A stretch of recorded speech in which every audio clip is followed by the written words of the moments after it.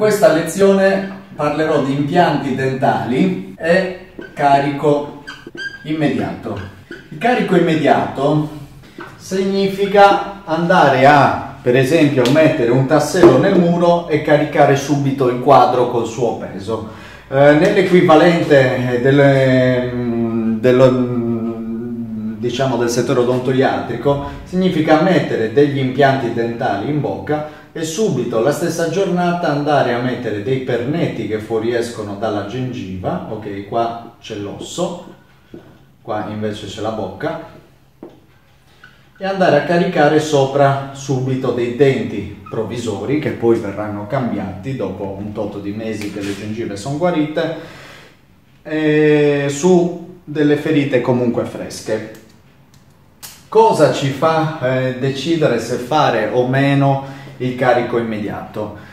Semplicemente il torque, quindi il torque che cos'è? La forza di eh, avvitamento dell'impianto all'interno dell'osso cioè più è stretto e quindi più era duro, più era compatto l'osso e più eh, si è sforzato per mettere la vite nell'osso e più è probabile sopra andarci a caricare i denti già i, dopo l'intervento. Eh, come sappiamo noi esattamente che tipo di torque abbiamo avuto? Quando si avvita l'impianto, ok, inizialmente si va con degli strumenti automatici, verso la fine l'impianto viene stretto con delle chiavi dinamometriche, sono delle chiavette che arrivati a un certo valore quindi di forza di avvitamento a un certo punto si piegano quando le chiavette si piegano, eh, o comunque ce ne sono di diversi tipi, ci sono quelle che si piegano, quelle che non si piegano, che hanno una molletta che ci indicano guarda che l'impianto è abbastanza stretto nell'osso, se quel valore ha un certo livello di newton di torque, nello specifico deve essere superiore ai 35-45 newton,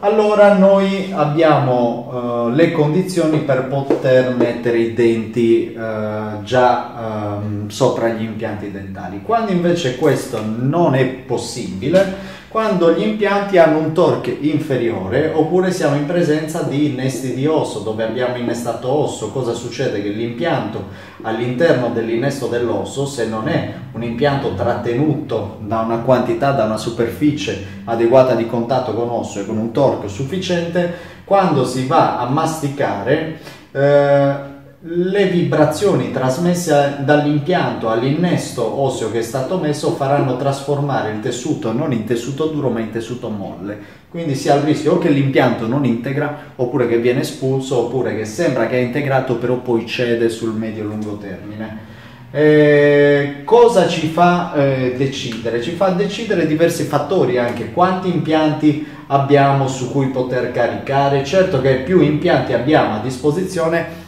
meglio è perché le forze masticatorie vengono distribuite su più impianti. Questo è il concetto del carico immediato. Il carico immediato ha una percentuale di insuccesso superiore rispetto al non caricare subito gli impianti. Noi ricordiamo che per esempio al nostro policlinico stiamo trattando già casi molto complessi, molto rischiosi, pazienti che hanno infezioni, osso che va in maniera massiva ricostruito, andare a fare spettacolo show eh, è un qualcosa che mette a rischio il paziente stesso, la nostra reputazione, noi lavoriamo con Facebook, con internet, tutta la luce del sole, la, quello che diciamo